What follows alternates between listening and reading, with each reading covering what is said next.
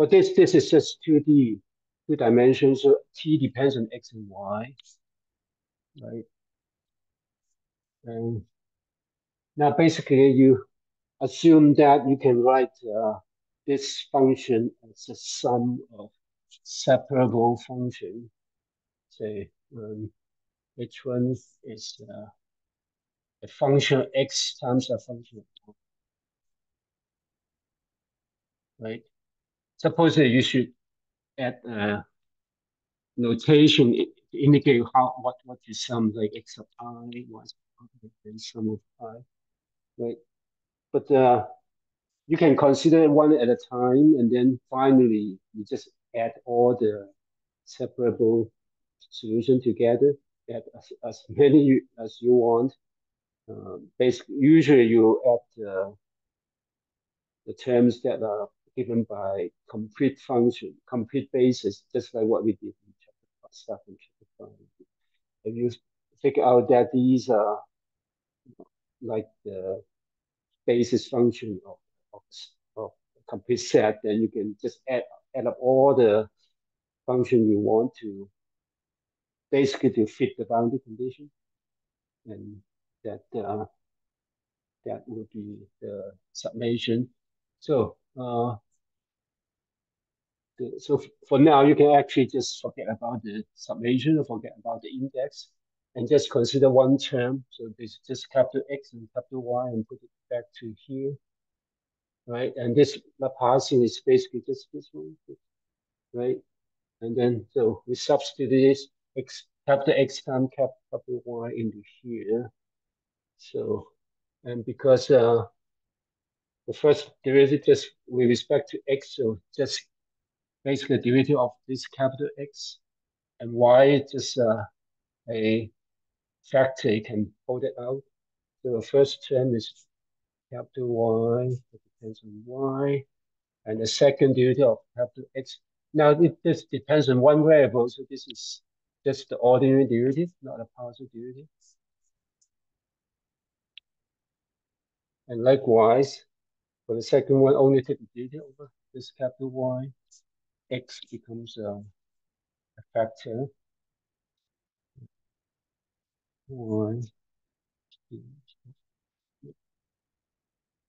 Now zero. Okay. Can you follow it? Okay. And the last step is the, to divide the whole equation by t itself or by the by the product of x and y. So divided this by x, y divided x and y. Okay, and basically cancel y, let's cancel x for the second term. So it's a function of y under function x. Sorry, cancel y is function x. d squared x squared plus over y. Let's cancel x. Just just have y here. D squared y. D y squared. That equals to zero. Is okay? So now the the next argument is that uh, you have two two terms one is a function of x, the other is function of y. If you like, can move one term to the other side also, but the argument is the same. If you want these two terms to add up to zero or this equals to minus the other term, and this these are function, but they are function of different variables. And the only possibility that you can find a solution like that is that um, they they are just equals to constant, and then these two constant add up to one. So you can set like uh, whatever constant you want to set, uh, like I don't know what what because hey, this is a constant. Uh, let's let's say this is, uh, and the constant can be positive or negative. Say, uh, so you assume this is positive, that becomes like this is k squared. This term, the first term is k squared. Then the second term, in order to add up to the zero, this must be minus k squared. Okay, you can assume the first term to be positive and the second term must be negative, and vice versa. If this is minus k squared, this becomes k squared. Okay, but, but the uh, it, it doesn't matter which is which. Okay, and uh, in, in our case, it seems like uh, because there's symmetry uh, uh, between x, they put it, it actually, for, for later convenience, uh, it seems like this is uh, negative is better. This become positive.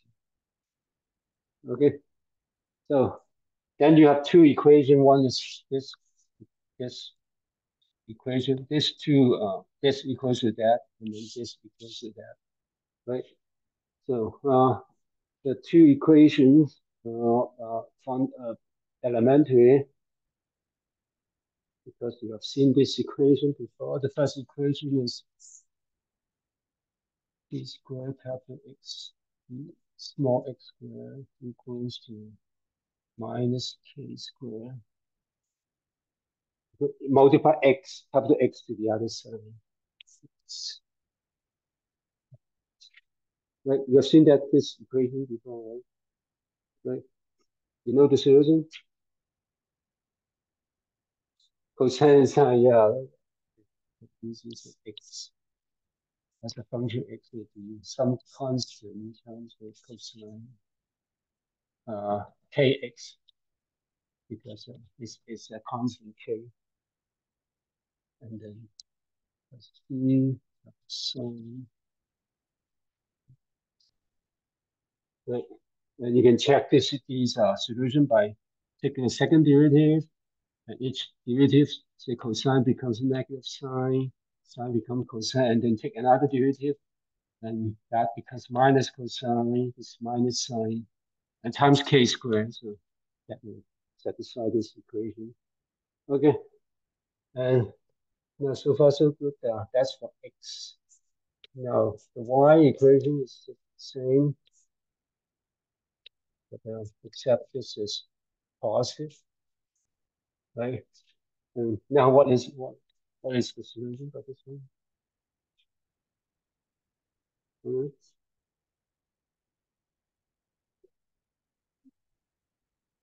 Either I, uh, either I would be just, just this one, just called just exponential function. You can either use exponential function or so you have a choice. You can use exponential function, and you know that uh, exponential function, the two exponential function plus or minus argument, and add up to the hyperbolic function. So, so either either c e y e e minus or c. Okay, that's okay. Cos y sinh. Okay, so either are fine. Which one is better depends on the boundary condition, which is easier to use. Okay. And now, uh, now we're almost done. This is part B or part, this is part is there part C or part, part D is to solve, part B is to solve everything, right? Okay, now uh, we can use this, this to solve uh, this question. Now remember these are all normalized, normalized uh, variables. The boundary condition is this is one, one, one, all, and the variable is t now, instead of uh, solving t, we, we might as well solve uh, the what we call the this this uh, temperature difference, right? Because the boundary condition for the temperature difference will be easier than this one. And what we mean by the temperature difference is delta, right? This delta T is uh, it's now this is the this is at the at the top, but uh, generally, is it, mm, calculate. So delta t, if you define it, is uh, t minus t1 over t1. Right. So up upper limit change to t2 minus. Uh, uh, this is originally it's t2 minus t1. is the t t tube uh, on the top. So we want to get the temperature difference. So basically, in uh, uh, defining this temperature difference, uh, the equation you can instead of solving the Laplacian t equals zero, you can solve Laplacian delta t. Okay, because uh, all these are just uh, just shifting a constant, a constant, a passing of constant zero, so you can always add zero. So this is still true. And so this is still satisfied the Laplace equation. So all these are still correct. Okay, and now the the geometry or the boundary condition for this problem is easier because now this uh, in the normalized variable x, y. This is from 0 to 1, 0 to 1. Now delta, you're solving delta t, and delta t is a 0 here, 0, 0, 0 here. And then this is uh, basically, uh, this is just that this, that t2 minus t1, t2 minus t1. That's the top boundary, right? um, whatever you call it later, you can call it this is R or R tilde, whatever you call it. Right? Yeah, you understand? So now the boundary conditions are easier because they are, these are zero, all three, and then just uh, a constant on the top. All right, is that okay? So, um, so now the the idea is uh, this is just one term in here. Uh, whatever I did here, one term. You want to sum over all the terms that uh, satisfy the boundary condition, and one at a time, uh, x and y, right? Um, right. So x will be um, but they they said this they have the same k. Remember the y function have the same. Yeah, you need to put the product of this capital X and capital Y with the same k. But this k, the, you have a choice for the for the k, and that is the choice is to satisfy the boundary condition easier, and so not all k will will, uh, will satisfy this. Uh, the boundary condition because uh, you, you need uh, this sine and cosine. And because of the boundary condition that uh, x is zero on at this little x equals zero and one, so both boundary is capital X is zero. No, the t delta t is zero, but you want this this uh the, the it's zero at x equals to this two zero and one. So basically, you want this function to be zero at this two point, right? And so that will mix uh, this delta t to a zero, right? And the easiest way uh, to find a complete expression that represent this is uh, using the sine function. Just use the sine because at x equals zero, sine is automatic zero, but not cosine. Cosine is one. So it's much easier just use the sine. Okay, basically now you're doing the, the Fourier sine series. Right? Just use it, use it. Because we learned about Fourier series before, so it's easier. So uh, just use the Fourier sine series.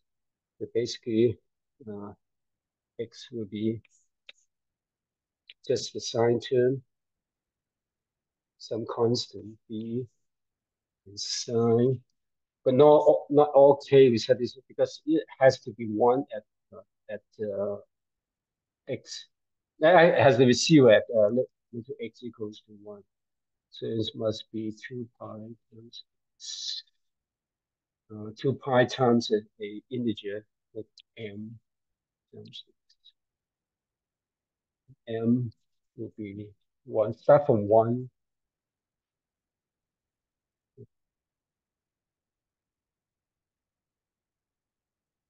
right? Because uh, you don't include zero here because uh, you you see put zero here, this capital X is totally zero. That you got uh, this trivial solution, so you don't include n equals zero. Just all the positive integer, and maybe you don't use negative integer because negative integer is just uh, linear dependent on the positive integer. This is the negative of that, so you don't need to use negative integer. So you keep all the positive integer so you get the all the sign here. So this is just one term. So so you can use this m as the notation for this this term of solution. So m, this is what x of m. So you have x of m given by this form, and the coefficient you can also indicate this as b sub m. Okay. Now the once you choose this uh, for a given m, the x, uh, the, the k here is the factor in front of x, so this will be a k. But then this is uh, for the m mode, so it's case of m, right? So the corresponding solution for y, you can see this sub m. Now, uh, now you also have the two terms for the y generally but then you have a boundary condition at y equals zero that will uh, uh, that require that to be zero. So for cos at y equals zero is not zero, only sinh is zero. So you can actually just keep this uh, the sinh term. So these m sinh and k is two pi m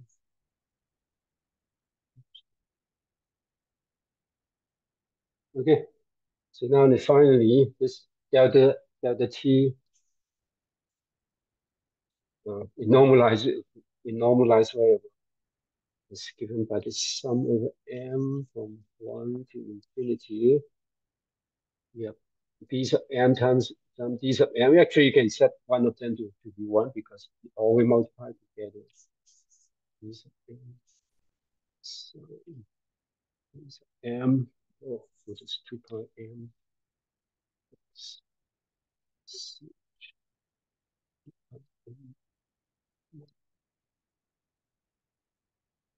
Right?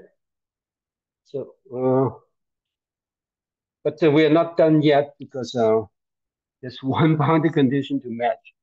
So now th this form, you can see that it matched boundary condition at uh, x equals 0, x equals to 1, and y equals 0 because of that these are the sine function will satisfy these two, sinh function will satisfy the volume. Now we have one more boundary condition at uh, y equals 1 to match, right?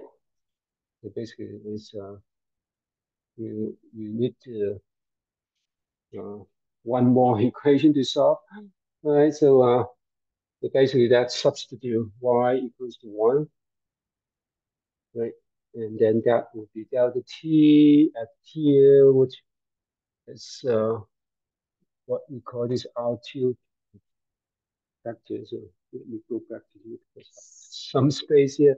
So last equate last uh, condition is R2, which is just this uh, T2 minus T1 divided by T1 is equals to summation of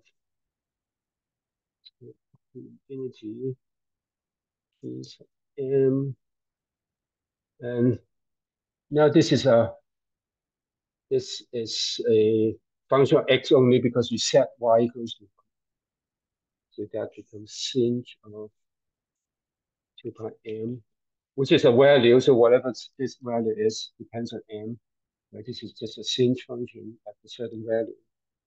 And then sine of 2 pi 2 pi m times Okay, now this is in the form of the, a Fourier sine expansion. Now you can go back to your Fourier series chapter and look up the formula. So this is like uh, you have a function, which now is just a constant.